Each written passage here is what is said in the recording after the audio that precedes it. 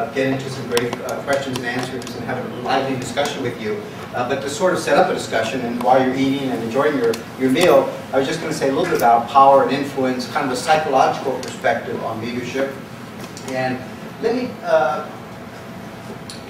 tell you why I think this is such an important topic. Um, First of all, intellectually, I think all of us know power is important. We all know that power is important for implementation, for execution. Interestingly enough, despite our intellectual awareness to the idea that power is important, a lot of us have ambivalence about the concept of power. And one manifestation of that ambivalence, if you, if you pick up a lot of leadership books and look in the index, there might be a page or two at most talking about power. Instead, the leadership books talk about vision and charisma and uh, transformational leadership, team building, trust building, all these great things. It's as if power is the four-letter word in the uh, leadership literature. By the way, I was given a talk about power to a Japanese audience not too long ago, and I had this slide up that said, power is the four-letter word in the leadership literature, and this Japanese scholar came up to me afterwards, he said, excuse me, Professor Kramer, I hate to be rude, but you have a mistake in your PowerPoint. Power is actually a five-letter word. And I found myself trying to explain what a four-letter word is in American idiom, but I think we all in this room know um, what that means. Uh, and I, it's really important to confront our ambivalence about power. We don't teach people to think systematically about power in our educational system. I'm a parent, I have two small children. If I ask my child, what do you want to be when you grow up, and my daughter said, Dad, I want to be more powerful, I don't think as a parent I'd be happy about that as an ambition. And yet, to get things done, we really need to understand power. And even if we're uncomfortable with the sense of power as being part of our identity as a leader, and I do a lot of work with executives, business executives, and government executives, and when I talk about power, it's really interesting to me how many of them say power is not part of the way they like to think about themselves. It's not part of their identity. Uh, they like to think of themselves as inspiring leaders, as positive people. Uh, so they have kind of a negative association of power. I think to the extent we have that ambivalence about power, we risk leaving the playing field, giving the home court advantage, if you will, to those people who aren't ambivalent about power, who aren't uncomfortable with power and its use. Uh, nine out of 10, I did a study not too long ago, and nine out of 10 of the executives, senior executives in government and business that I interviewed, said that they'd been burned at least once in a power struggle, that they failed to see something coming, they trusted the wrong person, they trusted someone too much, they underestimated the political dynamics in the situation, and they learned from that experience. Well, my philosophy is let's learn from other people's experience. Let's talk about power and think about it so that we don't have to uh, go through the fire and the crucible of that learning experience ourselves. And so, even defensively, it's important to understand power as a skill. A way of thinking about the political landscape, how to analyze it, how to navigate in it safely and effectively. So it's a topic I really enjoy teaching because I think it's kind of neglected. Uh, now, there's lots of ways of thinking about power, and I, this is, I promise, the most academic slide. No upside down A's, but the most academic slide I'll have, and then we'll move to some more interesting uh, video. Uh, there's positional power, and as fellows of this institution, you have positional power. Uh, people have uh, uh, resources they confer on you, uh, rights and so forth, related to your position in this institution. That's kind of a formal, structural kind of power that's important to understand. All of us also have social power, and our social power is kind of relational. It's informal because it arises from our relationships with other people. And many of you already are developing these informal relationships with faculty, with administrators, with your peers, and so forth. This kind of power is defined by our ability to network effectively, to form social ties, alliances, to build a reputation. Uh, and the reputation might be trustworthiness, toughness, credibility, expertise, whatever it is. But these are kinds of sources of power that come to us from other people. And then we have personal power. And for the standpoint of today's talk, this is what I want to emphasize. Personal power is our perceptual skills, our ability to analyze political situations, understand them, and then our, our, persuasive abilities and our abilities to navigate effectively in a political situation, to use our persuasive skills to get things done. Uh, a lot of us, in my experience, are great clinically. We know how to analyze things. We're taught for years and years in schools to analyze things. We're not often taught how to execute, how to implement, how to persuade. So personal power to me is interesting because it's the power that kind of determines whether or not we actually fully use and engage our positional power. To me, the great example of this is you think about the different U.S. presidents. In a sense, all the presidents have the same positional power. They occupy the Oval Office to be sure they encounter different kinds of, they inherit uh, different kinds of uh, problems and opportunities, but they all have the positional power of the presidency, and we've seen striking differences in the ability of those individuals who occupy that to command that power. You know, I always love the contrast between Jimmy Carter, a person who most people felt was one of the most intelligent presidents we've had, an engineer, brilliant, analytical, micro-manager, uh, wonderfully attentive to detail, and yet not able to get much done in Washington. And then you have Ronald Reagan come in, and people characterize him uh, famously as the amiable dunce, a person who doesn't seem to have much intellectual horsepower, uh, intellectual skills, and yet remarkably adept at working the levers of power. So there's something about this personal power dimension which is quite interesting. And that's what I was going to talk a little bit about today. Now there's lots of ways to try to study this. Uh, and again, I don't want to go too much into academic detail about this. You know, we can do laboratory experiments where we manipulate people's power uh, and so forth. We can observe what happened. I've been interested in studying power in real-world situations, uh, where you try, uh, especially as a psychologist, to actually see behavior in action. And so I've been interested in looking at situations where people display different kinds of power moves, where they use different kinds of influence tactics, uh, presidential debates, testimony in formal hearings, press conferences. These are often situations that expose leaders to situations where they have to reveal their true selves too, or their, at least their true skills. So you think about Oliver North, his testimony at the Iran-Contra hearings, this Congress that thought they had this young lieutenant by the neck, and he managed to brilliantly sort of uh, squeal out. Clarence Thomas, a person whose back seemed to be against the wall in his confirmation hearing, a man who brilliantly played the race card in lots of ways and, and carried the day. Uh, Condi Rice, I think, is a very skillful performer. If you saw her confrontation with Barbara Boxer, you know, this is a woman who's not going to be pushed around easily. Uh, Dan Quayle I often uses a counterexample. Uh, uh, not exactly a comic foil, but a person who often has an amazing ability to shoot himself in the president's foot. Uh, so, you know, by looking at these examples of people in the public limelight, if you will, you can begin to sort of develop a micro-theory about how power and persuasion work.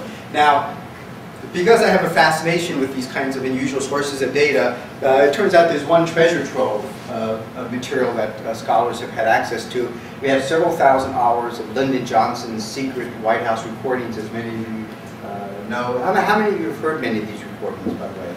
Yeah, not everyone. If you haven't heard them, it's really one of the great sources of entertainment and insight about how power works and how power uh, politics work. Uh, Lyndon Johnson decided to secretly record many of his conversations, partly because he wanted to have a record, so if anyone ever misrepresented what happened in the Oval Office in one of his negotiations, he could correct the record. He also probably anticipated writing his memoirs. Uh, he also knew that other presidents had secretly recorded their conversations, something the public American public did not know about. Uh, so uh, John Kennedy secretly recorded, of course, many conversations in the Oval Office. Uh, Dwight Eisenhower had recorded conversations that he wanted a record of, and FDR. So this has gone back a long time ago. And if you don't know the story, I'll just say it as an interesting sort of sidelight. When uh, Lyndon Johnson was leaving the presidency in 1968, and Richard Nixon was coming in, Lyndon Johnson showed Richard Nixon this wonderful taping system and said, you know, this is the greatest thing. Everything you say will be recorded uh, on record. And to his credit, Richard Nixon, who was a little bit paranoid and had great political instincts, said, you know, I think this is a terrible idea. He didn't say this to Johnson, but he said to his aide, I think this is a terrible idea, and so he removed the presidential taping system. Then after several months in the Oval Office, he decided, you know, it would be nice to have a record of everything that was said here, or at least have a record. And so he reinstalled the system. And uh, uh, the funny thing, the only thing that's interesting about that is both Kennedy and Johnson had a manually activated recording system, so they would decide what got recorded. Nixon was not very good mechanically, and he decided to have an automatic system that recorded everything. and he'd edit the tapes later, I think he thought. And of course, he never quite got that chance. Uh, so, the reason Johnson is interesting is because by many accounts, you have oral descriptions of this breathtaking ability to influence even very tough, tenacious, experienced people on the other side of the bargaining table. Uh, Jack Valenti, who I've had a chance to interview uh, several times when Johnson worked, said that Lyndon Johnson was an awesome engine of a man, terrorizing, tender, inexhaustibly energetic, ruthless, patient, compassionate, bullying, sensitive, tough, resolute, charming, earthy. It goes on and on. All of these things, he was this. Uh, Bill Moyers, who was also an aide, uh, now of course a television personality, but at the time an aide in the White House, said he was 13 of the most interesting and difficult man I've ever met. Uh, he had an animal sense of weakness in other men. I think you'll see that in just a moment. He was so famous that it was called the Johnson treatment. When Johnson worked on it, they just called it the treatment. Uh, Jack Valenti said the telephone was his Excalibur, and he played it like Stradivarius played the violin kind of a mixed metaphor, but I think it communicates. Uh, George Reedy, one of his aides at the time, said about his telephone technique, he could practically crawl through that telephone wire, and the full treatment was an incredible thing. It was a combination of badgering, cajolery, promises of future favors, threats of future consequences if things weren't done. When that man started to work on you, it was like you were under a waterfall and the stuff was just pouring down on you. Uh, Doris Kearns Goodwin, who I suspect you've seen on Nightline and some talk shows, said he could be fierce, friendly, gracious, intimidating, cajoling, threatening, passionate, obstinate, charming, menacing, ingratiating, and frightening, all in the space of the same conversation in the space of a few minutes. The velocity of this man's influence attempts was just breathtaking, and we're going to see that now. I wanted to show you, uh, and I, I should say, ladies and gentlemen, the context of this is I'm writing a piece for the Harvard Business Review on intimidating leaders, because bullying leaders have gotten a bad rap. But there's a side of intimidation, creative coercion, that actually sometimes is necessary to get things done. Uh, there's a difference between using coercion creatively to, to take on resistant, recalcitrant organizations and bullying that just abusive. And Lyndon Johnson, you know, had this great passion. He wanted to eradicate poverty. He wanted to eradicate racial injustice in this country. He wanted to do something about uh, this, the weak. He wanted to change the educational systems for the better so more people would access. And he was willing to twist arms to do that. I just wanted to show you a little bit of his arm twisting. The first conversation you're going to see is only a few days after Lyndon Johnson has inherited the mantle of the presidency. Uh, Kennedy has been assassinated, and Lyndon Johnson has decided, for a variety of reasons, that he'd like to form a special commission to investigate the assassination of President Kennedy.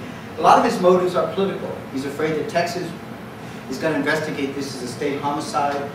Johnson knows Texas politics quite well, and he doesn't relish the thought of, of an independent inquiry. He knows Congress is lobbying to investigate the assassination, and he understands uh, congressional politics all too well. He would like the investigation to be controlled so that uh, the, the con conclusion will basically come out in a way that uh, furthers the interest of the nation. So he's decided he's going to create this commission, the Warren Commission, Unfortunately, nobody wants to be on this commission. This is a political hot potato. A lot of people at the time, right after Kennedy's killed, believe there's a the possibility of a conspiracy. Uh, and Johnson knows that he's going to have to twist some arms, and he's decided he wants his old friend Richard Russell to be on his commission. Now, the other thing you need to know about Richard Russell is Richard Russell, unfortunately, really intensely dislikes Earl Warren, the man Lyndon Johnson is going to pick to be on his commission. And notice how Johnson manages to convince Richard Russell to be on his uh, commission. Notice how he deals with uh, Richard Russell's uh, problematic relationship with Earl Warren. Just listen to the richness of the language, the velocity of the appeal, and notice how Richard Russell, a very savvy, experienced guy, has no chance to level the playing field. One final other thing you should know, by the way, is Richard Russell had been like a father to Lyndon Johnson. He was a mentor to this man. And notice how when Russell tries to remind the president that I've done a lot for you in the past, and you know, I've been really good to you. Notice how Johnson deals with that. So, uh, Jeff, if we could.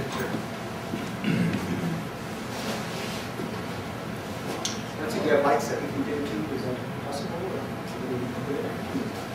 We may not need to actually, but Christine. No, thank you very much. Just do me this favor. I think Jeff, I pushed the button, right? Total force, number two, let the standing. Only a few days later, though, Lyndon Johnson had changed his mind. For both public relations and political reasons, Johnson had decided that he did want to form a blue ribbon panel at the federal level. He began a telephone campaign calling the most powerful members of Congress. He wanted them to squelch any congressional investigation. He wanted their approval for the panel that he had selected. And in classic Johnsonian fashion, he refused to take no for an answer from those he had chosen to serve on the panel. His last call of the day went to his old friend and mentor, Senator Richard Russell of Georgia. Listen to how Russell is bulldozed into serving on what will come to be known as the Warren Commission. Yeah, I hate to bother you again, but uh, I want you to know that I made that announcement. Well, announcement what? Well, this special commission. You have that? Yes. And I got Chief to hear it. May I read it to you? The President announced that he is appointing a special commission to study and report upon all the facts and circumstances relating to the assassination of late President John F. Kennedy and the subsequent violent death of the man charged with the assassination. The President stated that the majority and minority leadership of the Senate and the House had been consulted with respect to the proposed special commission. The members of the special commission are, quote, Chief Justice Earl Warren, Chairman, Senator Richard Russell, Georgia, Senator John Cooper, Kentucky, Representative Hale Boggs, Louisiana, Representative Gerald Ford, Michigan, Honorable Allen Dulles, Washington, Honorable John J. McCloy, New York. Well, now, Mr. President, uh, I, I know I don't have to dedicate my motion to you, but I just can't serve on that committee. I, uh, I'm highly honored you think about in connection with it, but I, I, couldn't say that with Chief Justice Warren. I, I don't like that man. I don't have any confidence. You never turned your country down? You, well, this is not me, this is your country. But, uh, you got, you're my man on that commission, and you're gonna do it. And don't tell me what you can do and what you can't, because, uh, I can't arrest you, and I'm not gonna put the FBI on you, but, uh, you goddamn sure gonna serve, I'll tell you that. And Secretary of State came over this afternoon. He's deeply concerned, Dick, about the idea that they're spreading throughout the communist world that Khrushchev killed Kennedy. Now, he did. He didn't have a damn thing to do with it. I don't think he did that right, but, All right, all right, but we want, we got to have some people. I wouldn't be surprised, yes, go ahead. All right, then okay, that's all we want to know. And people got confidence in you, and you just be surprised or not surprised. They don't know what you think. Well, I'm not gonna say this more, Mr. What do you- I'm in your command, and I'm gonna think Well, you damn sure gonna be at my command. You're gonna be at my command long as I'm here. When we return, LBJ.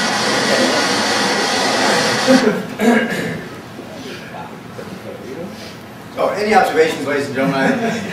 What did you notice about this technique? You know, by the way, here's Richard Russell. It's a Saturday uh, afternoon. He's sitting at home, reading the newspaper. Johnson knew uh, Russell was kind of a quiet bachelor. Uh, often stayed home, read the papers, read 10 books a week. Was home reading, not expecting a call from the President of the United States. But what does Johnson do to him? I mean, basically, what happens here? The order. Yeah. Uh, I didn't catch the ending though. How did they leave that conversation? Well, there was an absence of a thank you. You may have noticed that. Because you're I didn't, I didn't, did he agree? he agreed. He said, Mr. so President, at I'm, your. At your command. At your. At your command, he At said, your you're goddamn gonna be my command as long as I'm here. You know, which is the alternative to thank you for Lyndon Johnson. And this is a man who done many favors for Lyndon Johnson. He really had catapulted his political career. And notice how Johnson deals with that. Russell tries to remind him, you know, I've done a lot for you. And he says, well, it's not me. Who is it? It's your president, your country. Yeah. And you're, you're damn gonna do this. Uh, Any, any other observations? It's a lovely example of the Jim Johnson technique, yes. I actually have more of a question than an observation. It, it seems as if he bullied this person, and I was expecting persuasion in the sense of making the person happy to say thank you at the end of the conversation. So I actually, I'm, I was surprised. That's what I heard. So You think that maybe a softer, more ingratiating approach might have been quite effective? not necessarily ingratiating, but certainly something that doesn't, doesn't sound as mean to Yeah. someone who was a, a mentor. And a friend. Yeah. so A lifelong mentor yeah. A softer approach, a soft power approach, yeah. Well, let's come back to that, yes. Even if we give you or this guy the benefit of the doubt and say this worked, Yeah. I wonder if we aspire, even if we aspire to, could we get away with that? Could I personally, or you know, could even softer spoken, softer spoken women get away with that? Because I don't think you know this. Damn, you're gonna do damn this. I don't swear, and It's I a- think it's part of his yeah. style. I couldn't get away with that. Could, could I? Yeah. What do you think? I mean, first of all, I'm not, rec- I hope it's clear, I'm not recommending it as a strategy. I'm not saying this is good leadership. In fact, Johnson, in a way, burned his bridges with a lot of people. He also, in in a way, ironically, created a legacy of doubt with the Warren Commission because the document they produced was a half-hearted document because nobody really wanted to serve on this commission. The members of the Warren Commission, because they didn't like each other, barely met. I don't know how many people know this, they barely met. They would not often sit in a room together.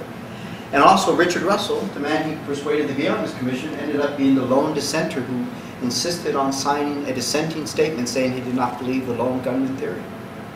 So he actually created a legacy of doubt. It was a self-defeating strategy. But it works in the short term.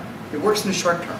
Can we do it though? I don't understand if we Yeah. can all be expected to learn that style if we wanted to. But I, I Yeah, think it depends a lot just- on the circumstances. It seems to me, I mean, kind of along with Mortensen, sort of, you know, kind of uh, surprised that he handled it this way because it seems there has to be, there must have been a huge amount of leverage, whether it was because Johnson was president or maybe something else aside from the political uh, uh, positions that allowed, you know, Johnson to just to be able to, to, to force someone else to a particular position. I mean, it really wasn't any sign of persuasion. I think that uh, there has to have been something that we're just not aware of, sort of power dynamics going on. That allowed that's interesting. So the rival hypothesis that you have, or intuition, is there's really some lever, uh, some basis of leverage, uh, some resource that something Johnson has that's making Russell basically say yes. He even said, like, you know, fine, I can't, you know, throw the FBI at you, but it seems like it's sort of a threat, you know? Well, I would say you can sort of threat, really. Now, Dick, I can't, I can't sic the FBI on you, and I can't arrest you.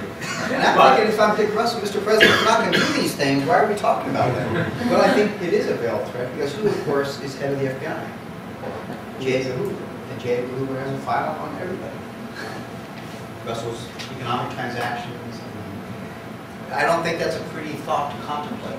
And Johnson, of course, is quite tight with Hoover. So it's, it's, a- it is a threat. Yes? I'm just curious. I mean, this. Were, are, are you saying this was his exercising a, a personal power technique in his positional frame, sort of thing? Intimidating, in using Right. 'cause, I mean, it's a power. Yeah. because it was a positional move, and clearly, like obviously, he can't make the threat unless he's in the position to do so. So he's how, using how positional power as president, you're saying? Right, Yeah, exactly. Exactly. yeah. So, but then, so how is this not just a positional power move, and and and how are you characterizing it as something? Oh, that's a in nice question. that. Well, here's where I would answer that question. Contrast Lyndon Johnson's behavior with John Kennedy's behavior. We have a lot of audio tapes. Johnson would get on, or Kennedy would get on the phone to a senator or a congressman or somebody who needs to vote on and say, you know, I really could use your vote on the civil rights legislation. And the person might say, you know, Mr. President, I'd love to help you out, but I've got constituents who won't go for it or kill me politically. And Kennedy often would say fairly politely, well, I fully understand your position, thanks for considering it, and hang up. Johnson basically wanted to get that vote. And so the, both people have positional power. The difference is Johnson's also willing to augment that personal power by the exercise this kind of arm twisting. Now, basically, by the way, what's interesting is there are people who say no to Lyndon Johnson. There are people on these phone conversations who just refuse to do it. They invoke some principled argument or say, I just can't do it, Mr. President. But what's interesting about Lyndon Johnson is he almost immediately picks up the phone and goes to the next person on his list because he's always got a backup. And then we have audio tapes of Johnson calling back some of the people who've refused him in the past, and he'll say, "You let your country down last time I called you. I hope you're not going to do it again." He's shameless. you know, basically, he eventually wants to get to yes with everybody, but he's pragmatic and resourceful. So in a way, he's getting things done. We may not like his style, and it may not be for us, and it may burn a lot of bridges, but in lots of ways, this is a man who got an awful lot done in a in a world where it's hard to get things done. And Russell did serve on his commission. Any other thoughts or observations? I mean, I think we've hit most of the key things, but, uh, and I hope it's clear I'm not recommending this. But what's interesting is, is when you see, I mean, Johnson rose to the leadership fairly quickly in, in the Senate, and even when he began, you know, the, the famous stories of when he was at White House, I mean, so when he was a, um, a- a staffer in the House and lived in a boarding house and would shave multiple times every morning because he was spending the entire, you know, couple hours uh, shaving and getting ready so he could meet everybody and get to know them personally. At that point, he had absolutely no positional power, none whatsoever. And yet, within a couple of weeks, he was um, elected to be the, the head of all of the uh, new staff in the, in the House of Representatives.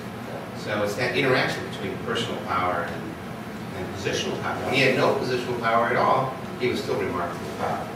And- Got the position, used it to get the position.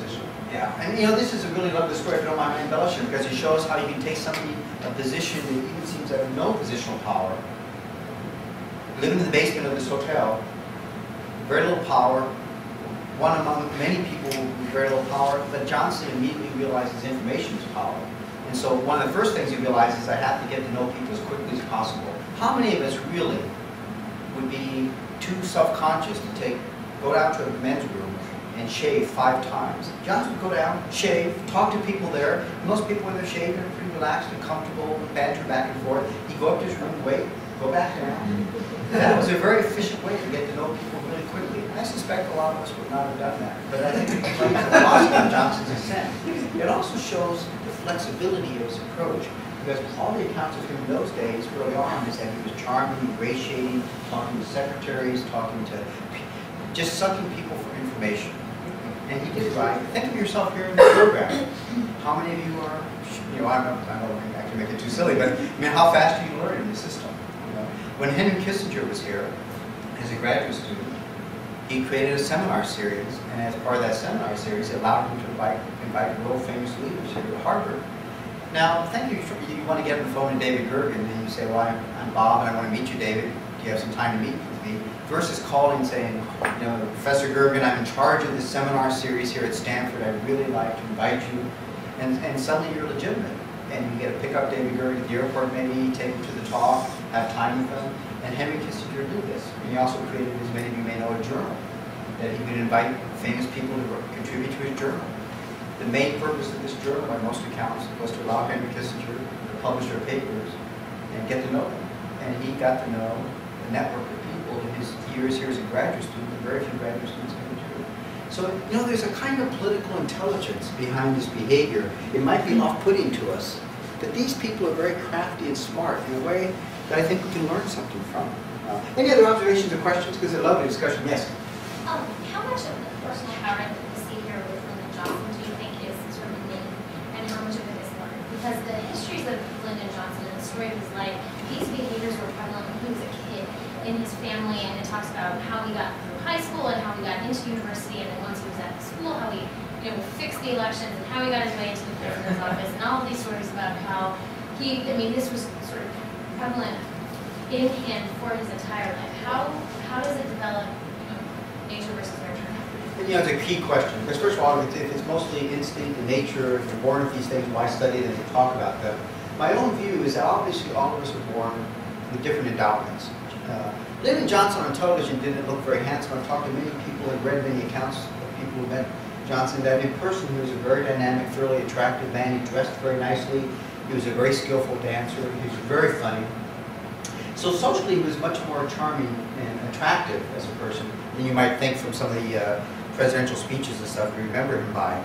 Uh, his father was a politician, and uh, he actually learned a lot of political skills following his father around. He loved campaigning with his father. Now, but Donald Trump uh, talks about learning real estate negotiations from, from the time he was, I think, three or four or five by playing in his father's office while his father was doing real estate negotiations. Not the learning crucible most of us probably seek in life, but you know, I, I think what looks like uh, nature sometimes uh, is often the result of early experiences that are quite formative. And then getting turned on, getting excited. Johnson said he was never happier than when he was on the campaign trail, watching his father argue. Now, most of us wouldn't find that a great way to spend our time. Know? uh, so, it, it, and it's a passion. I mean, you know, Johnson once said famously, I never think about politics more than 18 hours a day. Never read books. You know, he'd go to the baseball game. You know, you, I'm sure you've heard these accounts, but he'd go to the baseball game with uh, Richard Russell because Russell liked baseball, and Johnson hated baseball. But he'd go there, and while he was there, he'd be talking to people, waving to them, and networking at the baseball game. Johnson just spent his whole life doing this. So I think that was a big part of it. If it's your passion, I think you learn and you absorb it. So much so, by the way, that I think it almost does seem instinctive. We know John Kennedy, who's often credited with being such a great, eloquent speaker, and of course he was, but he was a very shy speaker in the beginning. He was a very shy person. Tip O'Neill uh, uh, in one interview, talks about how John Kennedy, when he would give a speech, when he was first campaigning, his back would be against the wall, and probably unconsciously he'd be moving towards the exit because he was too shy to wake, uh, shake people's hands. And he'd leave after his speech, and people would say, what, what happened to the speaker? You know, he was a very shy guy. But then he got better at it. Uh, any, any other questions? They're great question. Uh, any other questions? Yes. One of the fun things to, to watch with students who don't think they have this ability is you put them in a situation where they, they can learn, and they learn the ability. It- You know, it's not a natural instinct for most people. I think, who would actually trust somebody who has that innate ability? And I wouldn't, I don't, they're kind of icky, right? But you can learn to have uh, an engaging style, at least at the margins, and largely through experiential learning. You're not going to learn it in books.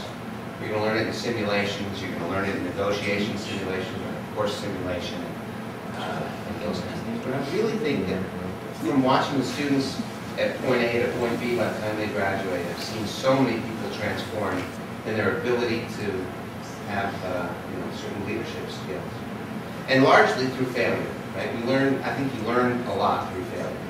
So what we try and do at Harvard is put you in a position to fail. But they graduate. You know, they graduate. But, uh, uh, yeah, I've seen a lot of people uh, be able to change. Well, One reason I think your nature nurture question is so wonderful too, or so interesting is, and we, and we certainly don't have all the answers to the question, but I'm amazed at how, I, I do a lot of research in Hollywood, which is an area I'm also really interested in, so I get to interview a lot of people, and I also read a lot of interviews and things, and it's amazing to me how many people who are performers actually find performing terrifying and hard. So like Katharine Hep- Hepburn used to talk about physically losing her meals before performing. Uh, Richard Burton would talk about having to get drunk before he performed Shakespeare because he would have stage fright so badly. Now, we don't think of these people as having stage fright, but they do. But they love what they do so much that they still go out on stage. Richard Burton once in an interview with David Frost said, you know, the hard thing for me was learning to drink just the right amount so I could do Shakespeare brilliantly and not drinking too much where I'd be too drunk to perform. And he said very poignantly, he said, you know, sometimes I got it wrong. But think about that. How many of us would live with that Faustian bargain? You know? So, uh, yeah. I- Brad, can I I- just give a, Yeah, I'm sorry to interrupt. Sure. Ken, But I actually, I, um, one of the great politicians I've ever experienced is David Pryor, who was a senator from Arkansas for years and was, was Bill Clinton's mentor in terms of personal style, and how to get the job done. And I was on the search committee when we hired him to be the director of the Institute of Politics. And after he said yes, uh, freshly in Cambridge, and uh, the most charming man you could possibly imagine. And he, uh, said, we decided we were going to go to lunch. I was going to fill him in on, you know, the internal politics of the Kennedy School. By the way, the dean at the Kennedy School could play the part of, uh, of a bully. That Those kinds of telephone calls do happen. Um, so uh, we met at the forum, and Pryor said, uh, "Well, we're to go to lunch. What kind of lunch do you want?" I said, "Well, let's try pizza." Oh, is there a pizza place? And he had this very interesting conversational style. He's very excited about going to Pizzeria Uno because he'd never been there, and so we're walking up the, uh, and he's talking to people as we go up. Now, this man is retired. He's never going to run for public office again. So we get into Pizzeria Uno, and uh, and he's just charming. You just want to be around him. I want to get to, to the seat, right? So um, there's a, our table is in the back. I follow the hostess, and and and David Pryor goes up to everybody and says, "Hi, oh, that looks good. I've never been here before. I know this is a good place." By the time he got to our table, he had visited every table in the restaurant, every single one. And it wasn't in one of those icky ways. It was, this is the most charming, wonderful man I have ever met. And by the time he sat down, I'm thinking, oh, I got to tell him all about the politics. I had nothing to tell him. He could have been elected um, unanimously by the people of Pizza. and there wasn't anything icky about it. Here was just this person who was genuinely connecting with, with is that, is that a, a stuffed shells? What are they stuffed that with? Is that uh, vegetarian? Are you a vegetarian? I mean, it was a totally, it was amazing to watch. Amazing. And genuine, so said, totally genuine. That makes people fascinated. Yeah. I, I should say, answer the question, you know, because I'm not endorsing the behavior, what we do in the class, when I teach with MBA students, for example, and Kennedy School students, is we role play how to respond to this. Because in fact, it's kind of unfair, isn't it? You know, Richard Russell's at home, and the president's already made this announcement. Don't you love the way Johnson says, Dick, uh, can I talk to you for a minute? Uh, I just want to let you know, as if I'm doing you a favor, I made that announce, I made that announcement. Well, you have already, and he knows what the announcement is, because Johnson's already talked to him about it. And you know, basically Johnson has now put Richard Russell's back against the wall. Because in order to undo this, think about this, it's been publicly announced to the press. Johnson was very skillful working the press in terms of uh, making everyone think this was important decision and stuff. Richard Russell now has to imagine what, if he wants to really say no to this commission, what does he have to do? He's got to go to the press and explain why he does not want to serve on a panel to investigate the death of the President of the United States. That's not a pretty picture for any politician, a Democrat, a revered Democrat, uh, to contemplate. And he, Johnson knows that. You know, it's a great example of what Schelling, who just got the Nobel Prize, called a compelling strategy. It removes degrees of freedom from that little decision tree. And what we do in the class is try to teach students how to open up those trees, uh, branches of the decision tree in their favor again. You can remind the president, first of all, that, gee, I'm sorry you did that, Mr. President. Would you give me some time to think about it? But I just can't do it, and here's why. Uh, and, and Russell, Russell could have gotten off if he wanted. Uh, anything else? I don't want to beat Russell to death. Uh, this is one more. Do we have time for one more example? Are we okay time-wise? Yeah, we're, we're staying till eleven tonight. Oh, good. It's okay. Good. well, I'll show you uh, the complete nightline version. uh, let me show you the next one, uh, and let me set up just a second. This is another lovely close encounter between Lyndon Johnson and Sargent Shriver. Uh, now, Sargent Shriver at the time, in the 1960s, was head of the Peace Corps, some of you remember. Uh, brother-in-law of the President. Uh, Sargent Shriver had a great deal of affection for John Kennedy. When Kennedy was killed, he was thinking of leaving the uh, Peace Corps. He wanted to spend more time with his family, uh, uh, maybe go back into private life. Uh, did not have much affection for Lyndon Johnson, as many people didn't.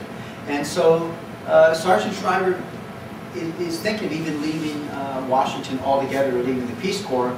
But Johnson's got bigger plans for him. Not only does he want him to continue to head the Peace Corps, he wants him to take on the job of leading the war against poverty. This is another hot potato.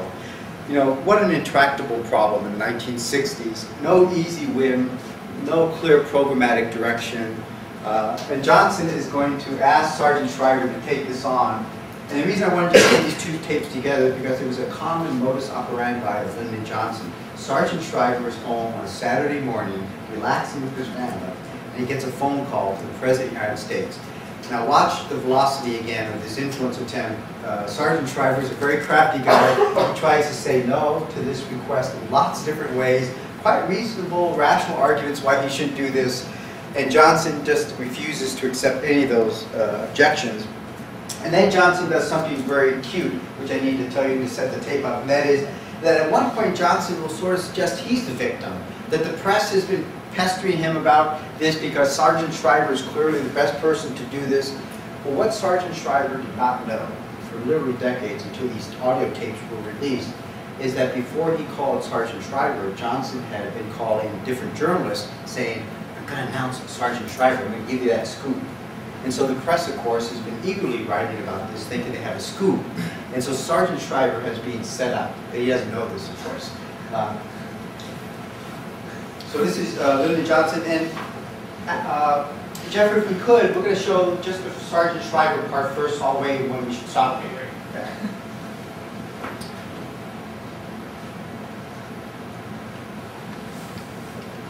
United States stands shoulder to shoulder with the people of yours. Johnson made it McNamara's war. I want them to get off their butts and get out in those jungles and whip hell out of some communists, he said. And then I want them to leave me alone because I've got some bigger things to do right here at home.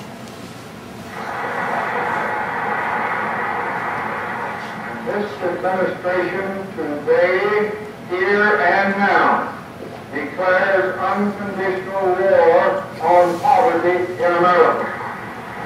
The war against poverty was the war that Johnson really wanted to fight. In his first State of the Union address, he reached back to the populism of his father and grandfather. He took a Kennedy anti-poverty proposal and made it his own. It will not be a short or easy struggle, but we shall not rest until that war is won. The richest nation on earth can afford to win it. We cannot afford to lose it. When Lyndon Johnson became president, 35 million Americans were living below the poverty line in the most affluent country in the world. And I said, but they don't vote. They don't have any organized lobbyists. How in the world are you going to get uh, any substantial legislation on poverty? Jack Kennedy couldn't. How are you going to do it? He leaned back and he said, and these words are engraved on my memory. He said, I don't know whether I'll pass a single law or get a single dollar appropriated, but before I'm through, no community in America is going to be able to ignore the poverty in its midst. Johnson now turned to the director of the Peace Corps, Sargent Shriver. One Saturday morning, he called me up and said that his radio show, which he had every Saturday, was going to go on a couple of hours, and he wanted to announce on that show that I was going to be the new head of the war against poverty, or the head of the new war against poverty. I said, well, Mr. President, really, you know, I haven't had a chance to speak to my wife. I haven't had a chance to talk to any people in my office. I don't know what they'll think about it in the Peace Corps. Couldn't you just postpone that? Frankly, I would rather talk to you about it next week. Said, well, now, Sargent, he said, no, the truth is we've got to get on with that war against poverty. So please talk to Eunice now. Just talk to her now, and uh, I'll call you back. I put the phone down. I couldn't believe my ears. And next thing you know, the phone rang again. There was the president on it. So, well, what did you decide? And I decided, I said, well, Mr. President, it would really be much better for me and my family if we could just talk about this next Monday or Tuesday and, and see what, uh, I have a better idea of what you want me to do. And I'm afraid if you announce that I'm the head of the of poverty, people ask me what I'm going to do about it, and I don't know. And that would be a source of embarrassment to me and maybe not so good for you. He said, well, Sargent, he said, you know, I have this radio program. It's going on about an hour. He said, uh, let me call you back. So he called me back about uh, 20 minutes later, and in a very low voice, confidential sounding voice, he said, now listen, he said, I'm going to announce you, and I can't speak about it loud because I have the whole cabinet here me. But you just have to understand, Sargent, this is your president speaking, and I'm going to announce you as the head of the against poverty. Looks as if I'm going to be the new head of the war against poverty. President Johnson's program on poverty is distinguished in at least four ways. First of all, In six short weeks, Johnson had come up with his package, but he would let Shriver worry about the details. Stop it just one second, Joe. So I was just going to say, ladies and gentlemen, that's the way Sargent Shriver remembers that telephone conversation. And as you'll see, his memory is pretty good. But it turns out we do have the audio tape of this conversation. And just listen to the lovely earthy language, the velocity, the manipulation. Sargent Shriver has no chance really to say no. And then notice at the very end how Johnson even manages to get a little dig in uh, Sargent Shriver's Catholicism. Uh, knowing he's a devout Catholic. We come back, we'll hear some classic Lyndon Johnson strong. There was a war that Lyndon Johnson was determined to launch. Had it not been for Vietnam, he might have gone down most prominently in history, this one-time senator from Texas, as the president who did the most for the poor and the victims of racial injustice. He had decided, for example, to wage a war on poverty, and he knew just whom he wanted as his field commander. Sargent Shriver, director of the Peace Corps, brother-in-law to the late President Kennedy. As you'll hear, Shriver was not initially enthusiastic, but when Johnson had made up his mind, he was a force of nature, not to be denied. Sargent, good morning, President. How are you? I want to announce your appointment to press conference. What press conference?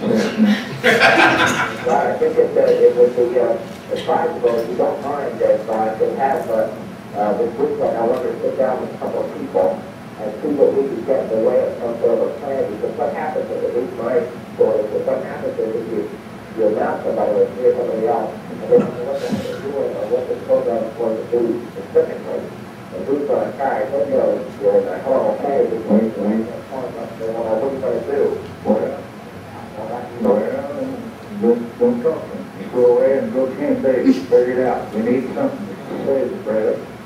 But we've got things to actually say that, no, I don't know, that is, that is, that is. They don't who in the hell's gonna do this, and sleep all over the place for two weeks, and you're gonna do it, and they, they'll be shooting me with questions they already it.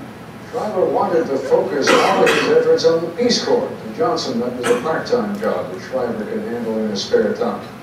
I'm talking about the man that is revolving the organization and in charge of the profession right now. And his name is Sargent Shriver, and uh, uh, he still has his identification of the Corps, and he'll keep it to such extent as he do the deeds of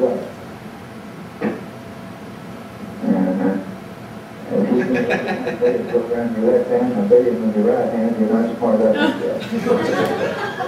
By the end of that day, Shriver and Johnson had their fourth conversation. What little argument there had been was effectively over. Now it was time for a little massaging. Johnson read Shriver a wire service story on the announcement, periodically adding his own sly commentary. Johnson said Shriver took a hand in both formulation and the execution of the war on poverty, would work closely with the cabinet committee composed of department heads that might be involved in the project's effort, projected effort. By naming Shriver as presidential position, John seemed to out, at least the present, the idea of creating a separate agency to handle the anti-poverty program. I don't all. Johnson described Shriver as eminently qualified and said the Peace Corps director, the late president, was outstanding qualities of leadership. God almighty, I wish I could buy that kind of advertising. you guys get together and see how in the hell you're going to administer this thing. Then you're going to have to get that bill and that message together. Then you're going to have to get up to that Congress and walk it through. And uh, you got to get on that television and start explaining it. And uh, it's get this advisory committee in and see that every damn thing that can be done for poverty is done. So uh, you just, uh, you just, uh, you may not be a church every morning all the time, but you're going to be working for the good of humanity. Shriver, once again, You know, the president refused to be pushed. I was I love that hurt, last one, deeply it hurt, was called the Pope. but I was Um, Now, any reactions to this? I mean, you notice it's similar modus operandi. Uh, Any thoughts, any reactions? You notice the preemptive move again, I made the, I'm gonna make the announcement, it's it's gonna happen, sorry if they're complete. Um, Yes? I just wonder, um, it'd be interesting what would happen if you dumped Johnson into our present situation today and how he would function. I mean, he's obviously smart enough that he'd be able to adapt, but he seems like the right guy for the right time then. Interesting observation, yeah. You know, context and timing is a big part of the success or failure. I- Is it Joe? Is it? Yeah. Joe. You know, I, I, I, the one area where I certainly think he'd be fab, would have been fabulous is the inter- intervention with Hurricane Katrina, for example. This is a guy who would have gotten on the phone and gotten things moving down there because he had great compassion about these things too. Uh, he would he would have known how to twist arms. So I think in certain situations he was great. Uh, obviously, in other situations like managing the Vietnam War, I think not so great. You know, uh, were you thinking of a particular context or example of where he wouldn't have? I mean, how, what, what's your prediction about how he would have played out today? I, I think he would have been. I think he would have been fine. I just think that that sort of style. Um, it's harder to be the, the alpha male today than it was probably 30, 40 years ago. So uh, to be the 500 pound gorilla and throw your weight around, I think it's a, it's a little different. I think people might react a little, a little more negatively. And the media uh, scrutiny, the secrecy, the duplicity, all that would have been much less easy to pull off, I think, today. Yeah. Yeah, Dean Al- uh, Graham Allison has a lovely quote. He says, "It's hard to be, it's hard to share a bath with an 800-pound elephant, even when the elephant is trying to be nice." And I think with Lyndon Johnson, it's kind of a lovely quote because this man is just probably too big for our time today. His style would not have worked so well in the television age. Yes. You mentioned before that Kennedy had a different style. Did, did Kennedy ever employ Johnson as his um, bulldog? No, that's interesting because there's an interesting strategy called the lightning rod strategy where you have a pit bull do a lot of your dirty work. And of course, I think George Bush has been very effective at that. Having, it allows the leader to keep his or her Teflon. Uh, it's a very effective strategy. Lyndon Johnson, uh, was a very passive-aggressive vice president. Uh, He often did not come to Kennedy's aid. Uh, I think he resented being vice president. This is my own interpretation of his behavior. It's a, it's a conclusion Kennedy came to, I think, himself in some of the oral histories. Uh, Johnson just was kind of uh, petulant, a little bit depressed being vice president, and was not willing to burn up a lot of political capital. Uh, And although I'm not an expert on congressional politics, my understanding also is that when Johnson left Congress, he lost a lot of his power. You know, he was not as effective. Uh, He was now in the White House. It's a little bit like what happened to Michael Ovitz when he gave up his agency. Suddenly, he had no power and he had a lot of enemies. And Johnson had left a lot of enemies in Congress. So uh, the long answer to your question is I don't think he turned out to be quite as valuable as Kennedy had hoped he would be. Uh, Is that, would you? Yeah, he, he clearly, they, they clearly kept distance, and President Kennedy did not use Lyndon Johnson, he didn't trust Lyndon Johnson. President Kennedy was, if, if you had done a survey of other members of the Senate, was the least respected member of the Senate when he ran for president. Uh, um, Not unlike John Edwards running for president in 2004, extremely low on everyone, in everyone else's estimation.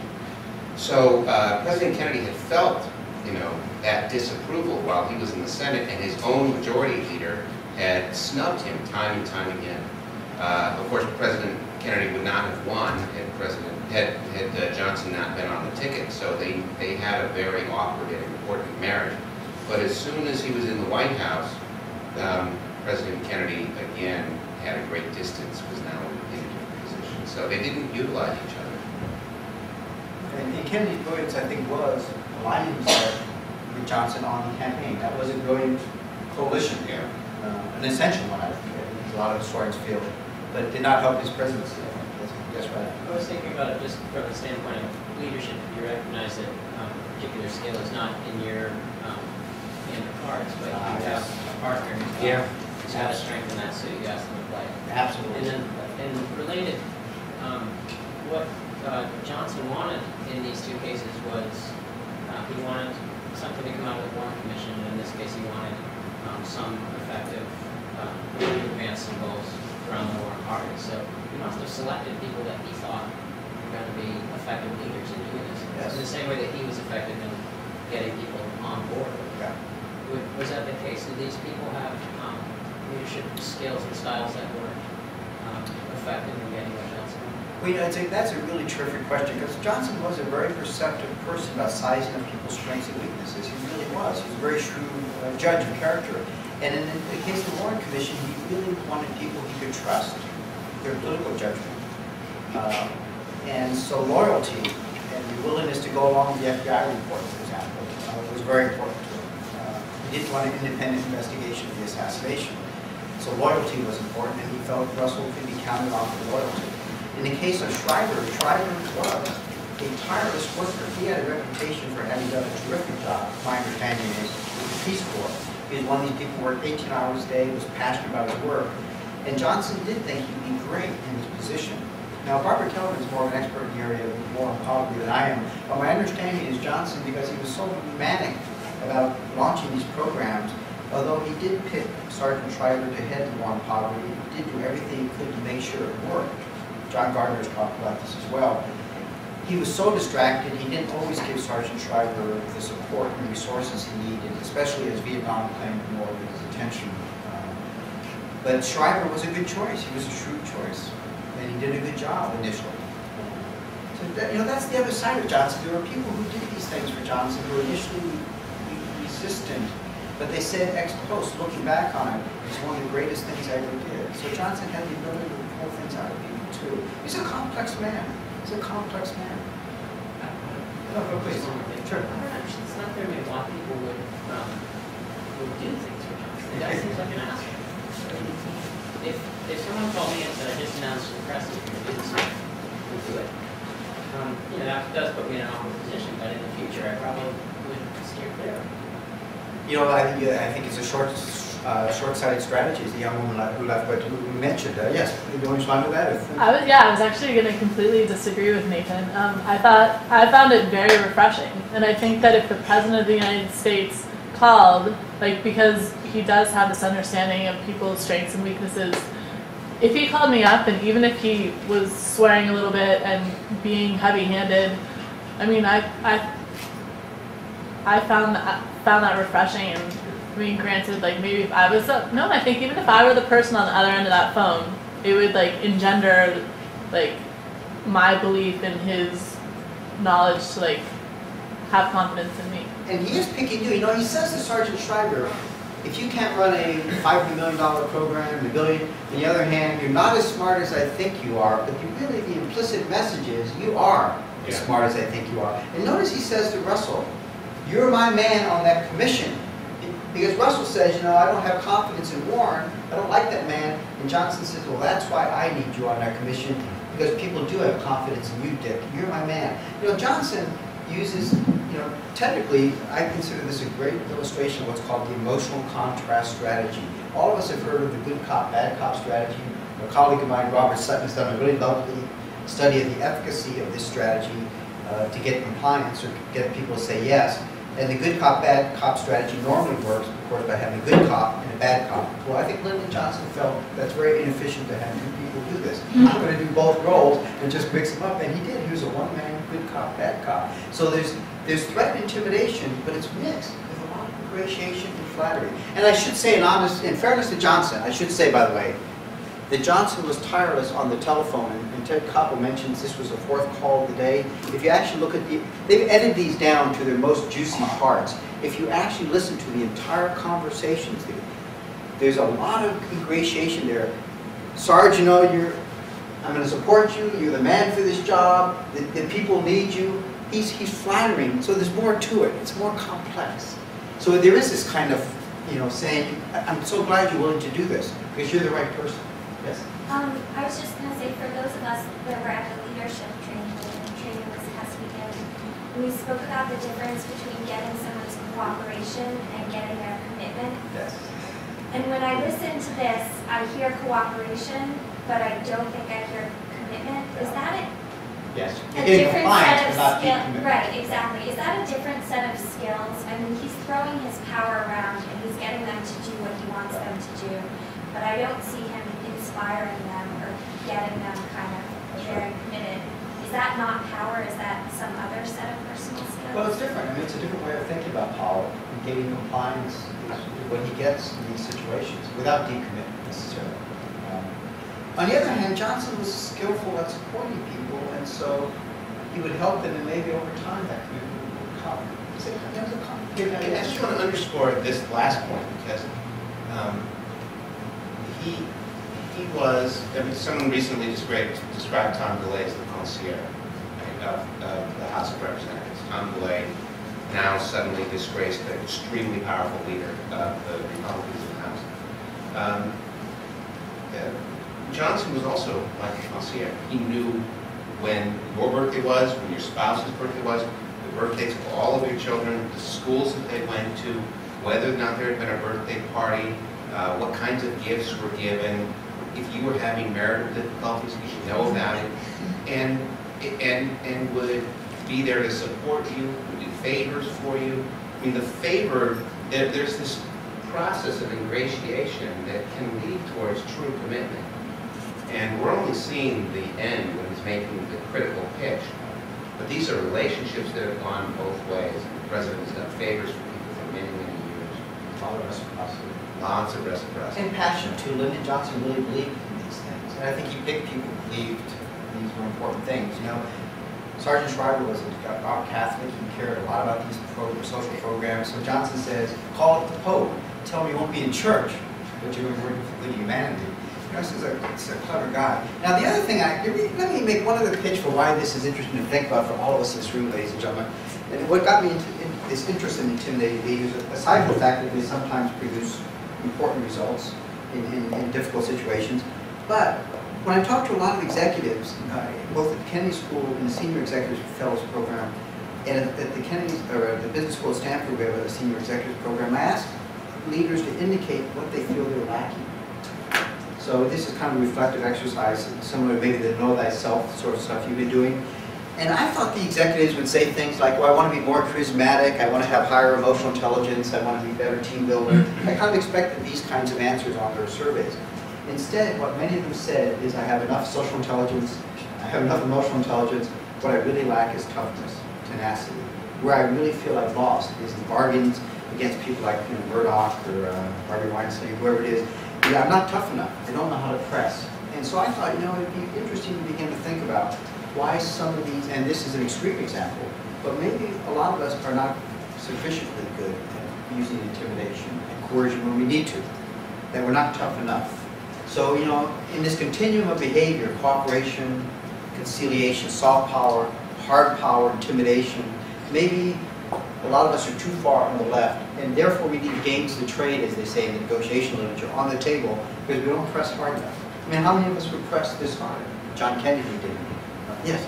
I, I'm kind of curious how Johnson would, or someone acting in the way that he's acting, would react to someone who comes back at him just as hard. Oh, yeah. Let me get this straight, Mr. President. You announced m- me to run this program and you hadn't even asked me? No. Well, now that's exactly what I did, and I don't think I really appreciate that, and I don't know why you did that. In fact, I find that almost insulting. For you, you know, I wonder what if it would be a dogfight or whether you'd say, "All right, now you're not appointed." It'd be a dog- It's a lovely question because there were people who stand up to Lyndon Johnson. Everett Dirksen was one, and they'd have these lovely dog fights. That's exact. Uh, and then Johnson would laugh and he'd say, "Well, you got me this time, but I'm going to call you again." and Jack Valenti said Johnson had a, a, an aphorism that he'd say. Uh, Jack Valenti, when he called these people, he'd say, "The president wanted to remind you that if you say yes, he'll always remember. If you say no, he'll never forget." You know, so he's going to get you eventually.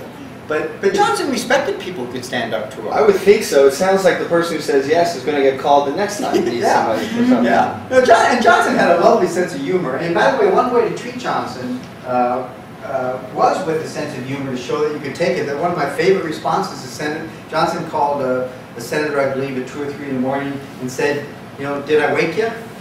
Because Johnson always you know. And the senator said, no, Mr. President, I was just laying here hoping you'd call. You know? And Johnson just laughed. You know, Johnson had a sense of humor. And so if you knew how to work him, you could work him. Uh, but, you know, the, the important point behind your question some ways, in, order to work him, you had to be just as quick and just as fast and know how to read Lyndon Johnson. And most of us in real time, so I believe, don't think quickly enough we're kind of like Sargent Shriver, relaxing on a Saturday, and so we're fumbling. And so one reason to study this in the role play is to get more facile in real time, responding more effectively when it happens to you. Because usually my experience has been, because I'm a little slow, is it's usually late at night, I'm laying in bed, and I think, oh, that's what I should have said. and it's too late. The moment is gone. The meeting's over. All I can do is wake up my wife, who doesn't care about this at all. You know, and tell her this is what I should have said, and she'll say, go back to sleep. You know, it's too late. So in real time, you got to do it. And that was Lyndon Johnson's genius. And you know, to get back to your nature nurture question, in Robert Caro's last book, Master of the Senate, what I found really impressive is he describes Lyndon Johnson as a young man trying to do all this stuff, but actually failing a lot, making enemies, pissing people off, excuse my language, the is being slammed on his face. But Johnson doesn't give up. He keeps trying. It sounds like you, when you're shaking your head, you read the book. Yeah, the series is incredible. Isn't The series is great, and that's just a great book. Well, and there's So he's learning. Mhm. Yeah. He has this just intense anger. There's this really great story about when that happens, and he has a book, I think it's Russell actually, that for whatever reason, he makes a whole bunch of people angry, and then the Congress starts slamming the doors on him, and he's not getting invited to these meetings, yet he still has this really great relationship with the White House. There's one particular meeting where he goes up to the door, and slammed in his face, he can't come in, and he just yells in the halls of the Senate, you know, I can get into the White House any day of the week, but I can't get into this lunch, or I can't get into this meeting, or whatever it was. And just this intense anger that he would feel when things like this would happen to him caused him to never give up. Yeah, and actually, you know, I'm so glad you mentioned anger because one of the things I've been really intrigued about uh, is the strategic use of anger as a kind of emotional intelligence of these intimidating people. Now, that's not the way we think about emotional intelligence, but I've been uh, doing this research, as I mentioned, in Hollywood, looking at the behavior of people like Scott Rudin, uh, Harvey Weinstein, Michael Eisner, and these people are angry. And they use their anger as a weapon to motivate themselves, to keep themselves going. They do not want to lose anything. Somebody said about Harvey, he when he's winning, he uses anger to stay on top. When he's losing, he uses anger to get back on top. Anger is his principal ally. And it's really an interesting way of managing ourselves. Not a great way to go through life, by the way. But it might keep you in there longer than the average person who wants to have a good life a high-quality daily experience. You know, these people do not give up. Their whole life is vested in whatever it is you're trying to do. I suspect a lot of you have worked with bosses like this, who their work is everything, they can't understand why their work is everything you.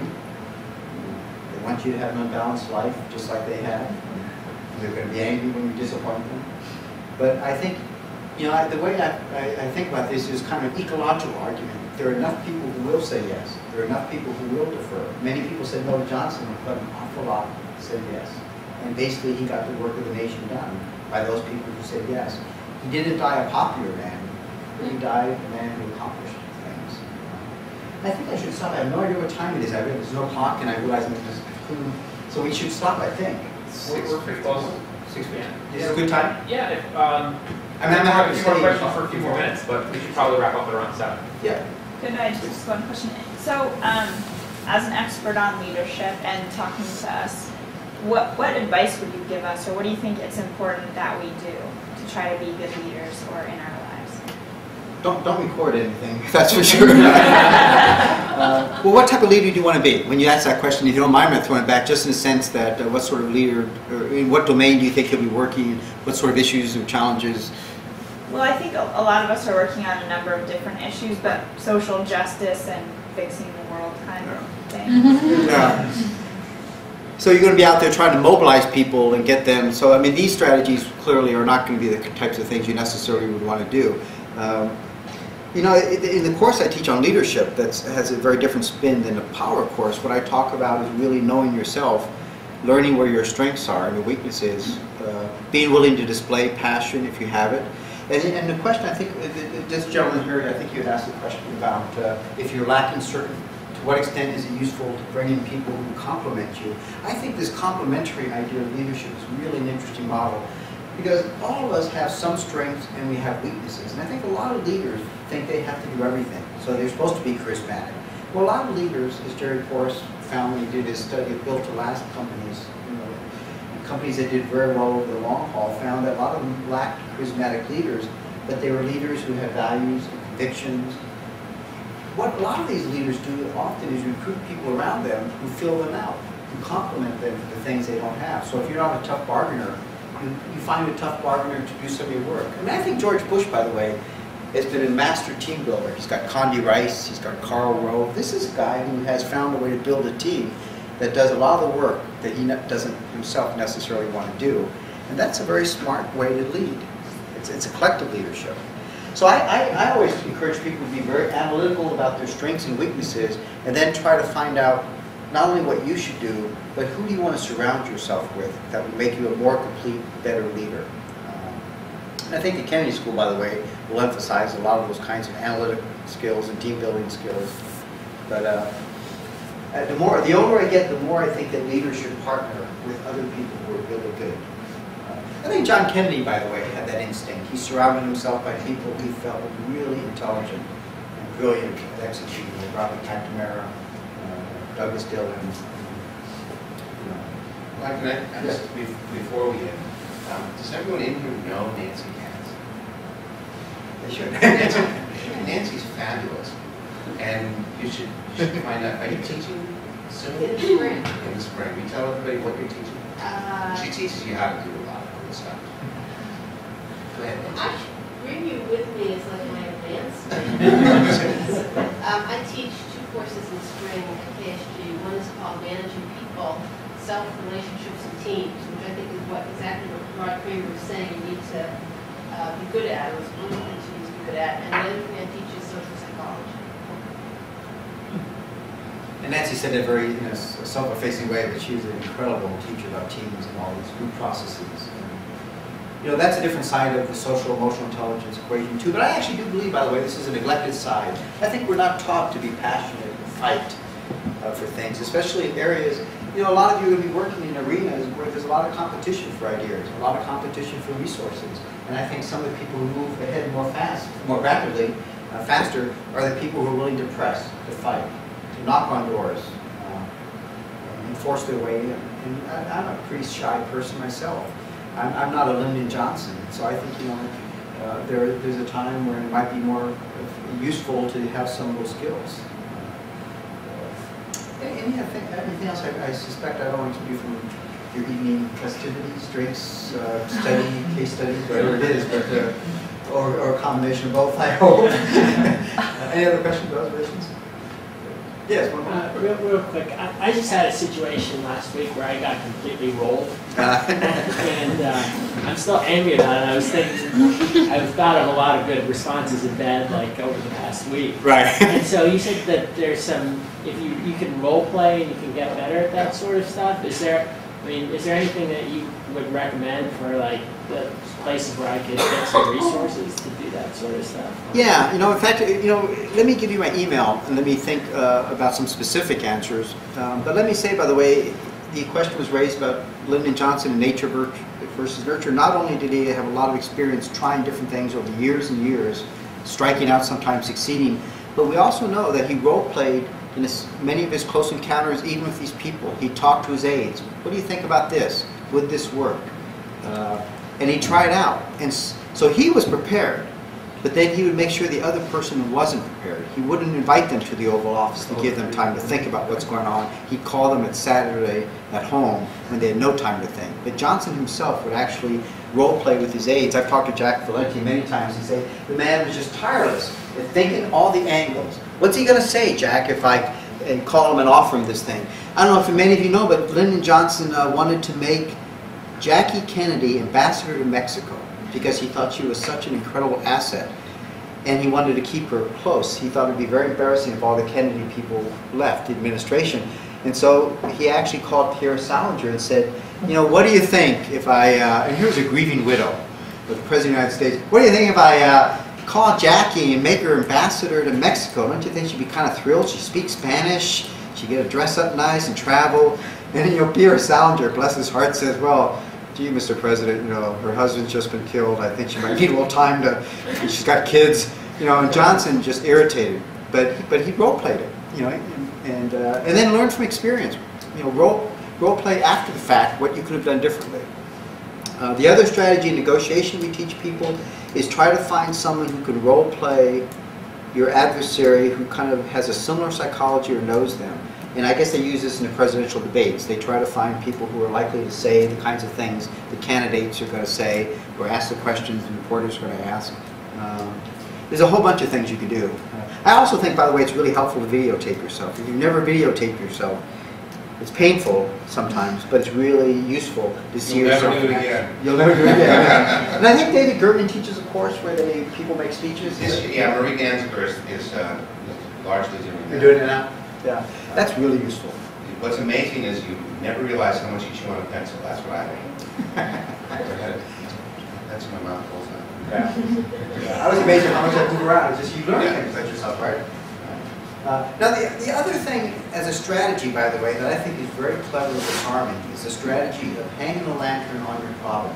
That's a technique where you basically acknowledge you have a weakness or limitation, but then therefore takes the thunder out of the other person's sails. And of course, Ronald Reagan was great about this. When people questioned his intelligence, he was so undefensive about it. He'd say, "Oh yeah, I, I wish I would." He got C's in college. He said, "I wish I would have studied harder." You know, I, it was such a great opportunity. Of course, I was head of the debate team. I was a radio announcer, student body president. I was on a football team. I was on a swim team. I did so many things in college, but I wish I would have studied harder. And you see the reporters just write this down and debate you, you know. So he, by being non-defensive, it really took the wind out of their sails. And a great example of this, I don't have the videotape of this, but I have the uh, audio transcript of this, was Margaret Thatcher apparently really took a lot of heat for being not very feminine, being kind of tough. Uh, they called her lot of things, unattractive adjectives in the British press and the tabloids. The Soviets, I think, famously called her the Dragon Lady. I think that was what they called her. Now, as the Prime Minister of Britain, as their leader, Margaret Thatcher could have done lots of things. She could have answered them seriously why she is the way she is. She could have ignored the issue, although it was not going to go away. But instead, she did something I think very clever. She, she hung a lantern on the problem of her toughness and nastiness and- meanness and so forth with a little bit of humor. So she came out at a press conference dressed in an elaborate chiffon gown with her hair up uh, in a tiara, is that how you say tiara? And, and evening makeup. And she walks up in a very dainty, exaggerated, dainty way to the podium and she says to the press, Here I am, Margaret Thatcher, in a very feminine voice, your leader, as apparently so many of you wish to see me. And there was stunned silence apparently in the room as people realized, we never want to see you like this again. because they realized it was absurd. Here's their leader who's going to negotiate with Gorbachev, who's going to negotiate with Reagan. We want you to be tough. But by using humor, she deflated the whole issue and kind of went away. The ability to laugh at yourself, and of course Kennedy was famous for doing this. When Kennedy was, John Kennedy was accused of buying votes, he said to the press, you know, I just got a telegram from my father, uh, I'm not paying for a landslide, I'm just paying for victory, no more money, so a famous little quip. And, and that's a very effective strategy, to be non-defensive about even your weaknesses. That can work in situations like this. So if you feel the momentum is going with you in a negotiation or you're, you're getting the short end of the stick, you can say, you know, well, I may not be as quick as I like to be, or maybe I'm missing something, but you buy time and you throw it back to the other person. Anything else, ladies and gentlemen? I am conscious of keeping you here a long time. Should we stop? Why don't we just stop? And uh, They can come up and talk maybe. yeah, I- I'm certainly happy to hang around, and you sort of call me on the telephone, and we can do the Lyndon Johnson there on the phone. Call me on a Saturday. I'm most vulnerable.